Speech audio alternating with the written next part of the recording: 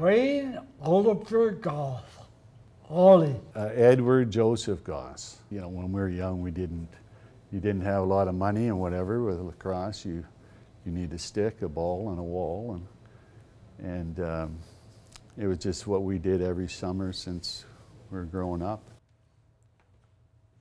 You got Ken Winzoski and Wayne where they literally changed a lot of the rules of the game, Kane and Wayne and Kenny. Um, Ron Pepper, um, Jim came a little later. Quite a few. Al Luthwaite, Ray Benny.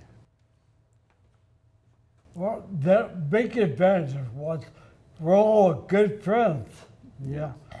So we, we trusted each other to have our back. Yeah. Yeah, We played that. soccer together, most of the team. Um, we played sports together uh, the full year, most of us. The seniors started bringing up, you know, younger guys uh, a lot during the year, and we went to Victoria and remember we the line they took you and me and Kenny. Wayne and Kenny and I were on a line in junior. Wayne was the, the face-off guy, of course, and, and him and Kenny were worked well together. But Kenny ended up being a defensive player in senior, right, like a defenseman.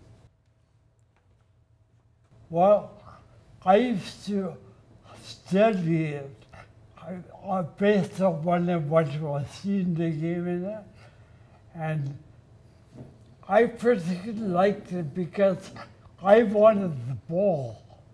So the best way to get it is to win the draw, you know? I don't think there's a magic trick to just be quick. Yeah, I think you're you saying you wanted the ball. It was the, Yeah. the right. He had the will to get that ball. That was his thing. Wayne's biggest thing that I've always said to people is he was always in top shape, 12 months a year. Some of us took a couple months off. Well, as I said, there was no 30 second rule, and there was also not the back of the percent. So we take turns, get the ball and run around the whole length of the floor. Then the bed when everyone's tired, I'd break for the goal, and Ken would see me and give me a pass. Oh God, yeah. Oh, yeah. It was a boring way for the fans, but it was well. They loved you two watching. I'm talking about the game because that in the in the older days when we watched uh, Vancouver had some great teams at that time, but they they just ragged the ball most of the game. Uh, they they you know they'd win seven to five or something, right? Ken and Wayne were, Wayne were incredible ragging that ball. And at first, because Rob, he was the first one to play against them, and you, they took you up, I guess, as a junior um, when they their first year. So the whole family got them sooner or later. Rob had them first, then Wayne and Rob, and then Wayne and I had them, and we were not successful. Um, they were they were literally an all-star team of Ontario. Jim Bishop coached them, and, and I found out quick uh, how good a coach he was. Because when I went back the first year, when I went back there, I had won the scoring race, and um, um, I had someone checking me pretty damn good, and, and they they did a heck of a job shutting me down. Just a whole lot of guys that went on to become They're a good team. they were stars then, but they went on to become stars and senior as well. It started out where I, I, I look back now and think, what was I thinking? But uh, they wanted to bring up, uh, they actually, they wanted to bring two guys up, and they, they had four of us. At that, that year, I played as 28 games of senior and 28 of junior. Consequently, my I didn't have my best year of junior, my third year. I mean, we had like Al Luthwaite was you know big, strong, great checker.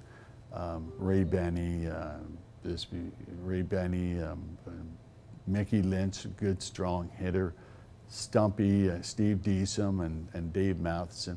So at the end, uh, when the playoffs came, we all were up most most of the games. to play with Cliff Sepka, that was his last year. And, and to play with those guys that I idolized, Cliff Sepka, he was my favorite player. But to play with them and then um, get Detroit, who had all these, a lot of these uh, Green Gaels, to get them back. That year in junior, I was playing both junior and, and senior up. We played Oshawa in the finals and lost. I had lost four straight to them in Queen's Park. So I got to face them in Queen's Park in that final series. It, was like a dream can come true. I mean, it was like a hockey player wanting to play in the Forum in the, Stan, in the Stanley Cup Finals. You know, uh, it was just just electric. Joe could, wasn't a real good ball handler. You know, he was pretty. He was a ball surfer, not Yeah. like he could be throwing ice even long them. I was, uh, I, I faked, you know, that was my He thing. And was he'd just stand there and look at deadly he, he didn't move. He was, he was uh, so good. He was the best I saw. He- We were playing against Vancouver, and, and they actually had a half a dozen guys that went on to become seniors, and even a couple that were Hall of Famers. But you know, uh, the you know the goalie, I, I don't remember his name, but we have we still joke about that, Ray Benny and I, and um, because um, I think Keith Jackson said it the best. It was it was it was like I had radar. I mean, it was one of those nights. That I just they weren't there weren't any of the real cheap ones. Just the shot was on and everything was working right, but their defense wasn't great. I um, I had 11 goals and three assists, and Ray had seven goals and seven assists. Okay, the last when I got my 11th goal, the goalie walked off. Okay, and Ray was a centerman. My buddy Al Luthwaite, who was closer to Ray obviously at that time, had no goals in that game. So when they put the, the ball down at center, Ray just picked it up. Al and I are standing outside the goal. It's empty. Raymond throws it to his buddy Al, so he gets his first goal. I know he didn't do it so he could outscore me. He got the 15 points, but he keeps reminding me, "You, yeah, you had 14, but I had 15. Remember?" But I tell him, "Well, I won the scoring race that year, though, and you were second. Ward was chopping Wayne. You know, Ward Sanderson came up. He was like a baby draft. You know, like he, he didn't know how to handle a stick well, but he's a big guy and whatever. And Big grill, and, yeah, and- big and arms. I, I want to say this up front. I, I would have liked to have a guy like him on our teams to take care of that stuff because we, we never had, uh, you know, that kind of component. Um, and um, but he went after Wayne right away early, and, and I, I had no idea who he was, so I ended up fighting him um, right away. Uh, and you know what I was used to growing up when I fought, you have a fight, it's done. Well, um, um, then he, you know, the next game he wants to fight you, right? Like so, that was kind of how we we went, and um, and then then Al would play with him a few times. You know, like he he would go after Al, and and Al would dance, do his uh, Muhammad Ali uh, interpretation with him. It, it was part of the game, but we had, you know, again, you had. Um, there's guys that are tough that just don't fight. You know, that, that's how, how it is. And uh, I, I look back at our team. We had small teams. I mean, you throw in Mac, but he was a tall guy.